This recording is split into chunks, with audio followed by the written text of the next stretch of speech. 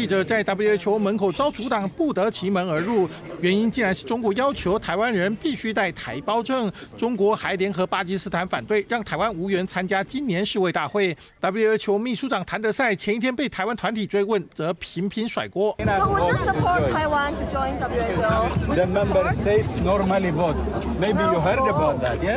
谭德赛面对新北市议员陈乃瑜在日内瓦街上追问台湾为何没受邀参加 WHO，谭德赛被问的尴尬，急忙推给所有会员。Taiwan is the first country discover COVID-19 when you say yes. Member states decide. Member states decide. Yes. They decide.